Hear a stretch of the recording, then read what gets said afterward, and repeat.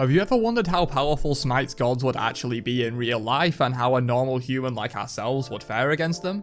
Well, this video is for you, from calculating the true strength of Hercules to how thick Rama's legs must be to leap into the sky during his ultimate, this series will answer all the questions you never had about Smite's gods.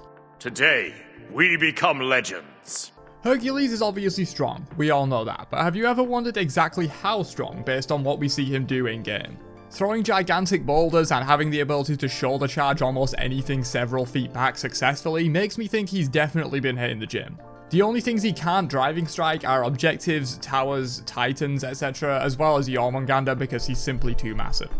So to get a sense of scale for the boulder Hercules throws in his ultimate, we first need an anchor point that is the same measurements in real life as it is in Smite's world. Yep, you guessed it, it's minion time. Since the minions in Smite are meant to be mortal worshippers of the gods, we can assume that one minion in Smite is the average height of a human being. Since all minions in Smite are male, we'll use the global average for male height, which is 5 feet 7.5 inches or 171 centimeters. We'll round this to 170 centimeters for neatness. Using this, we can estimate the size of everything else in the Smite universe, including Hercules' gigantic boulder that he can throw several feet in the air.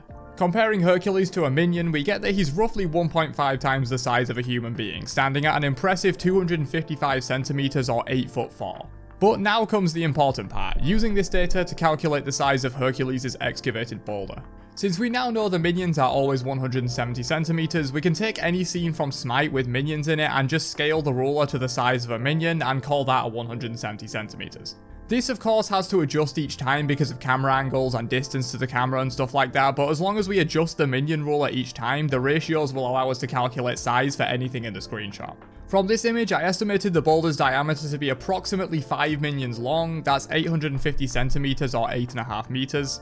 As we all hopefully remember from high school maths, volume of a sphere is 4 thirds pi r cubed, so to get the radius we just half the diameter from earlier, so 425 centimeters or 4.25 meters.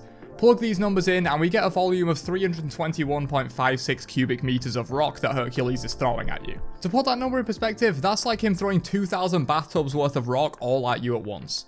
But that's the other key factor here in how much damage this boulder will do, the material it's made out of. Each material has a different density, basically the amount of stuff it can pack into any given space. Keep in mind that the type of rock will change in density. Sandstone, for example, has a density of 2.4 grams per cubic centimeter, whereas granite's density is slightly higher at 2.7 grams per cubic centimeter. Since the rock looks most like sandstone to me, I'll be assuming that's what it's made of for the calculations. So taking our volume of 322 cubic meters and multiplying it by the density of sandstone, which will change into kilograms per cubic meter instead of grams per cubic centimeter to match our volume units, we get 322 times 2400, that's 772,800 kilograms of pure rock Hercules is throwing at you. Cabrakan is hella jealous hitting you with just two cars. Hercules can throw the equivalent of almost 600 cars at you with ease. You might think 600 cars is a bit of a ridiculous estimate given how small the boulder actually looks in game, but two things in Smite are working against us here.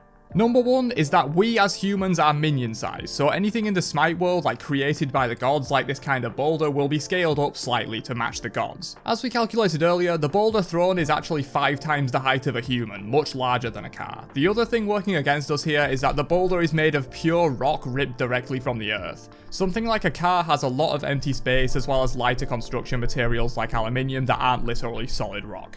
So what would it feel like to get hit by a super dense boulder of pure sandstone that weighs as much as 600 cars? Well, using another classic high school math equation of course, F equals ma is force equals mass times acceleration. Given the boulder takes around 800 milliseconds to make impacts from a max range throw, and the boulder travels roughly 3 Hercules' length forward, we can assume that acceleration is 7.65 meters divided by 0.8 seconds, which gives us 9.56 meters per second squared. Plug this into F equals ma when we already know the mass, and the force applied to the boulder by Hercules comes out at 7.39 million newtons of force. To put this in perspective, the Statue of Liberty weighs in at 125 tons, the boulder was calculated at 772 tons. So Hercules could throw the Statue of Liberty around 6 times further than he throws his boulder in Smite. I think it's safe to say that if the Statue of Liberty casually came flying at you, you're gonna have a bad time.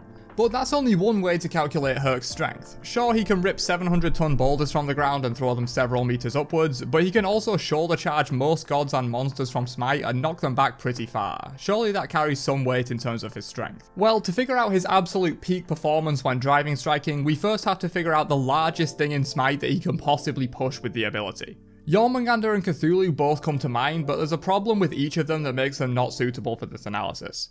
For Yorm, it's pretty obvious, he can't be pushed. This sets a nice size limit on what Hercules is technically capable of. However big Yorm is, he theoretically shouldn't be able to push anything with more mass than the World Serpent. As for Cthulhu, the only reason I can't use him despite being pushable when not ulting is that it's going to be almost impossible to get an accurate estimate for his mass. His size is easy, we just use the minions again and calculate it, but Eldritch lore is weird and Cthulhu is not made from stuff of our world. In fact, based on my limited research, there isn't really even a consensus on what Cthulhu is made of and how big he even is in Eldritch myth. So with so many unknowns, I decided to cut Cthulhu from consideration for all we know, he might be made from some ultra light element that allows him to be pushed around by mere demigods like this guy. So the next biggest thing Hercules can push that's not an objective, Yorm or Cthulhu. Well, discounting CC immune gods of course, so stuff like an ulting Vamana, we arrive at Sylvanus, or more accurately for this video, his Treant, Grover. It's also worth noting that Khepri and Fafnir in dragon form are of similar size to Sylvanus and also pushable, but Sylvanus is larger. Comparing him to the minions again, we get that Grover is roughly 2 minions tall and 1 minion wide on his trunk. We'll get to the branches and leaves in a little bit later. Much like the stone type affects the density of Herc's boulder, the tree type affects the wood density for Grover as well. For this one, we'll assume he's an oak tree, specifically a southern red oak based on his leaves in game.